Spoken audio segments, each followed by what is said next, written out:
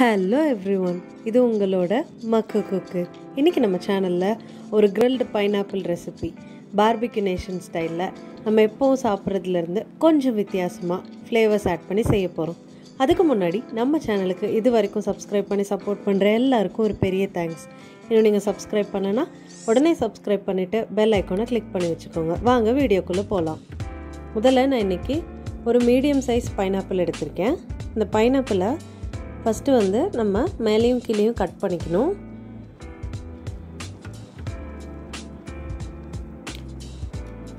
இந்த மேலே இருக்க பாகத்தையும் கீழே இருக்க பாகத்தையும் கட் பண்ணி எடுத்துக்கோங்க.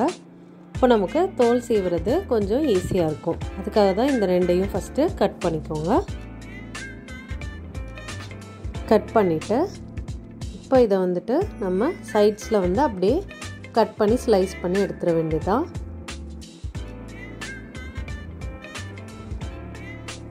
இந்த மாதிரி சைட்ஸ் ஃபுல்லாக சுற்றி கட் பண்ணிட்டோன்னா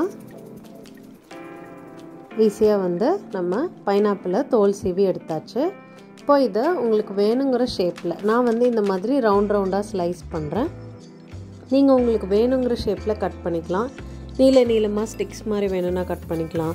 க்யூப் க்யூப்பாக சின்ன சின்னதாக வேணும்னா கட் பண்ணிக்கலாம். அதாவது ஸ்கியூவர்ஸில் போடுற மாதிரி. நான் இந்த மாதிரி வட்ட வட்டமாக கட் பண்ணி வச்சுருக்கேன். இந்த சென்டர் பார்ட்டை நீங்கள் வேணான்னா எடுத்துடலாம். பட் வந்து சாப்பிட்றதுக்கு நல்லதாக இருக்கும். அதனால் நான் அப்படியே வச்சுக்க போகிறேன் இப்போ ஒரு மிக்சிங் பவுலில் ஃபஸ்ட்டு ஒரு டேபிள் ஸ்பூன் போல் மிளகாத்தூள் சேர்த்துக்கோங்க. உங்கள் காரத்துக்கு ஏற்ப நீங்கள் கூடவோ குறைவோ சேர்த்துக்கலாம். அதுக்கப்புறமா ஒரு டீஸ்பூன் மிளகுத்தூள் பெப்பர் பவுடர் அப்புறமா ஒரு டீஸ்பூன் போல் சீரகத்தூள் இதுக்கப்புறமா ஒரு அரை டீஸ்பூன் போல் சாட் மசாலா சின்னதாக அந்த புளிப்பு கொடுக்கறதுக்கு. இப்போ இதில் கொஞ்சமாக மிக்சட் ஹர்ப்ஸ் இது வந்து ஆப்ஷனல் தான். இதுக்கு அடுத்தது இதில் ஒரு டேபிள் ஸ்பூன் போல் உப்பு. அதாவது நீங்கள் உங்களுக்கு தேவையான அளவு சேர்த்துக்கலாம். இப்போ இதில் ஒரு அரை எலுமிச்சம்பழத்தோட சாரை வந்து நல்லா பிழிஞ்சு விட்டுக்கோங்க. இந்த மசாலா எல்லாத்தையும் ஒன்று சேர்த்து நல்ல ஒரு ஃப்ளேவர் கொடுக்கும். இப்போ இதில் ரெண்டு டேபிள் ஸ்பூன் போல் தேன் அதாவது ஹனி இதை வந்து உள்ளே சேர்த்துக்கோங்க. இப்போ இது எல்லா மசாலாவும் நல்லா மிக்ஸ் ஆகிற மாதிரி ஒரு விஸ்க் வச்சோ ஒரு ஃபோர்க் வச்சோ கலந்துக்கோங்க. முக்கியமாக சால்ட் வந்து எல்லா பக்கமும் பரவணும். அதனால நல்லா ஒரு தடவை கலந்து விட்டுக்கோங்க. இப்போ இது நல்லா கலந்துட்டோம். இப்போ இதில் நம்ம கட் பண்ணி வச்சுருக்க பைனாப்பிளை உள்ளே சேர்த்துடலாம். சேர்த்துட்டு இந்த மசாலாவோட நல்லா வந்து மிக்ஸ் பண்ணி எடுத்துக்கோங்க. இந்த மசாலா வந்து இந்த பைனாப்பிளில் எல்லா பக்கமும் நல்லா ஒரு தின் லேயராக போட்டானா போதும்.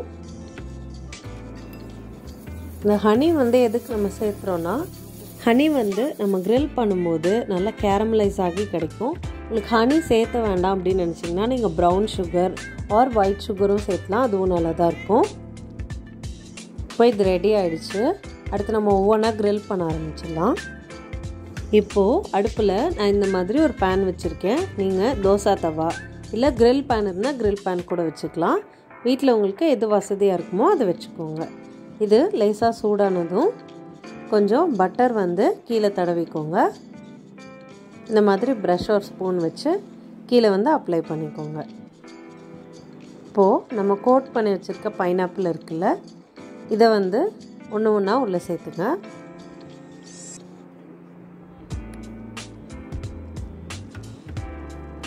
இந்த வெண்ணெயில் இது அப்படியே நல்லா ரோஸ்ட் ஆகணும். நீங்கள் க்ரில் பேனில் வச்சிங்கன்னா நல்லா வரி வரியாக ரோஸ்ட் வந்து தெரியும். நான் வந்து இன்றைக்கி பேனில் பண்ணுறேன் மேலே கொஞ்சமாக சால்ட்டு தூவிக்கோங்க. அப்போ டேஸ்ட் வந்து இன்னும் நல்லா தூக்கி கொடுக்கும் க்ரில் ஆகும்போது. இப்போ இந்த மேல் பாகத்தில் கொஞ்சமாக வந்து வெண்ணெய் தடவிக்கோங்க. அப்போ நம்ம திருப்பி போடும்போது இந்த பக்கமும் நல்லா கிறிஸ்பியாக வேகும். இதை வந்து மீடியம் ஃப்ளேம்லேயே வச்சுட்டு வேக விடுங்க. இது வந்து ஒரு சைடுக்கு ஒரு ஒன்றுலேருந்து ரெண்டு நிமிஷம் தான் எடுத்துக்கும். நல்லா க்ரில் ஆக ஆரம்பிச்சிடும் இந்த மாதிரி நல்லா க்ரில் ஆகணும். அப்போ தான் கிறிஸ்பியாகவும் நல்லா எம்மியாகவும் நமக்கு கிடைக்கும். இந்த பட்டரில் நல்லா வந்து அது குக் ஆகணும். இப்போ பார்த்தீங்கன்னா நல்லா வந்து க்ரில் பண்ணிட்டோம். இதை ஒரு பிளேட்டுக்கு மாற்றிடலாம் மித்ததும் அதே மாதிரி க்ரில் பண்ணிவிட்டு வந்துடலாம். இப்போ இது ஃபுல்லாக க்ரில் பண்ணியாச்சு. இதை வந்து அப்படியே சாப்பிட்லாம். ஆர் நீங்கள் ஏதாவது சைட் டிஷ் வச்சும் சாப்பிட்லாம்.